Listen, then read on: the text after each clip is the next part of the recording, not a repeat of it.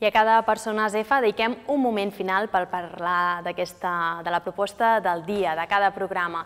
Cada setmana sobre un tema diferent, creativitat, ecologia, acadèmia universitària, i avui toca parlar d'innovació, i ho farem amb la nostra companya Míriam Comte, que és la directora de projectes de l'àrea d'empresa del Tecnocampus, i em deia, parlarem d'innovació, però parlarem sobretot d'innovació en el món de les finances, parlarem del finançament presit. Míriam, bona nit. Hola, bona nit. Benvinguda, Míriam. Moltes gràcies, gràcies per convidar-me al programa. Encantats de tenir-te. El finançament presit, jo no sé què és, explica'ns-ho. Doncs, eh, bueno, lligant-ho amb el Tecnocampus, que eh, pretenem donar cobertura a diferents programes d'emprenedoria, el que us vull, vull venir a explicar era eh, una fórmula de finançament per aquells emprenedors que estan en la primera etapa de l'emprendre. Són emprenedors que encara no han constituït l'empresa i el que necessiten és validar la seva idea de negoci. Uh -huh. Llavors, eh, ens trobem que aquests emprenedors necessiten fer un prototip o necessiten fer una primera versió del producte per poder captar pues, un possible interès comercial o les funcionalitats del, del producte en qüestió.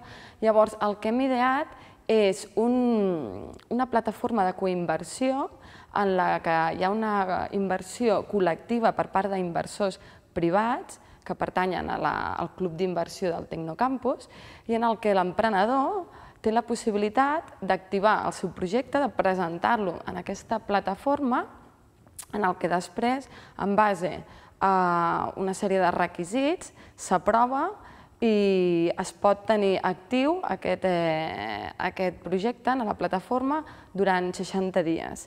Llavors, què passa durant aquests 60 dies? Que els inversors que Eh, els hem donat accés des de Tecnocampus, poden veure eh, l'interès en aquests projectes i poden invertir tíquets de 500 euros.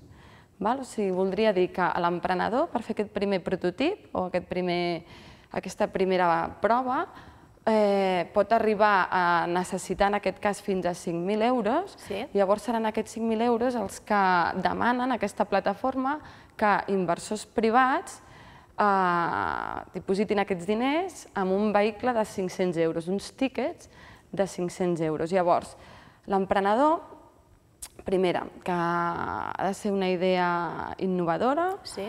o tecnològica, mm, ha de pertànyer a un dels programes del Tecnocampus, no passa res que encara no hi sigui, perquè nosaltres després el podem vincular a un dels programes, sí.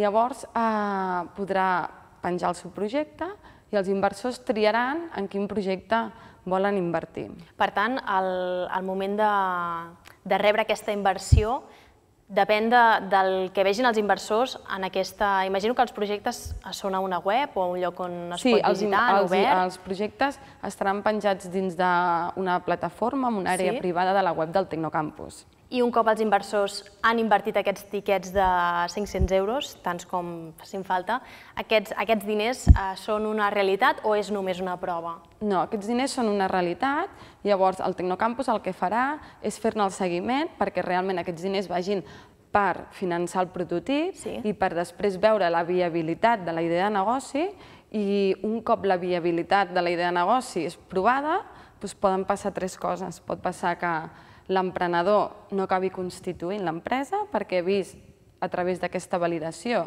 que la seva idea de negoci eh, no, no era vàlida, viable. Uh -huh. o podria ser que, esperem, en la majoria dels casos, que es constitueixi l'empresa i llavors el projecte tira endavant. Llavors, l'inversor, eh, al cap de dos anys, pot triar o entrar a formar part com a soci o pot recuperar els diners amb una sèrie d'interessos generats. Carai, doncs molt bé, és un, és un impuls, eh? Míriam, moltíssimes gràcies per aquesta aproximació al finançament presit. Se'ns acaba el temps. Gràcies per ser aquí amb nosaltres, Míriam. D'acord. Ens retrobem. Jo sí? m'agradaria dir un, final. un punt final, que és molt important, que és que Tecnocampus invertirà el primer tíquet de 500 euros en aquells projectes que consideri interessants o que estiguin vinculats a estudiants del Tecnocampus. Molt bé. Amb la possibilitat de que no siguin retornats, sinó que el propi emprenedor, quan constitueix l'empresa, els torni per invertits en nous projectes. Molt bé, i així la roda no para. Vagi, no para mai. Fantàstic, doncs un projecte d'innovació i de, de moviment real de diners per fer possible nous projectes. Gràcies, Míriam, fins aviat. A vosaltres. Bona nit. Bona nit. I amb aquest apunt inversor i de finançament final, nosaltres acabem el programa d'avui, el Persones F. Um, és un programa impulsat pel Tecnocampus amb la col·laboració d'MUTV i CLAC. Moltíssimes gràcies i ja sabeu que ens podeu seguir a les xarxes socials. Fins aviat. inmediato. Dancing to